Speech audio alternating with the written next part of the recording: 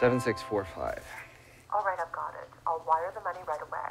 Thanks, Mom. We'll wait here till it goes through. Uh, Did you cancel the cards? Yes, I canceled the cards and reported it. And we have new cards waiting for us in Tulsa. You know, Thom Thom needs to keep more money in his account for emergencies. I mean, how many times have I told you? You need at least six months. I know that, okay? Six month living expenses. I did read that Susie Orman book that you sent me.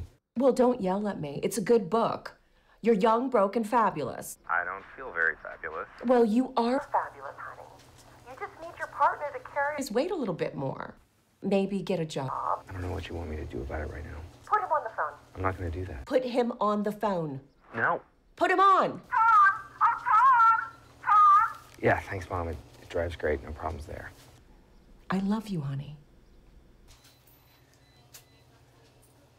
Love you too. Keep your pants on and your wits about you. Goodbye.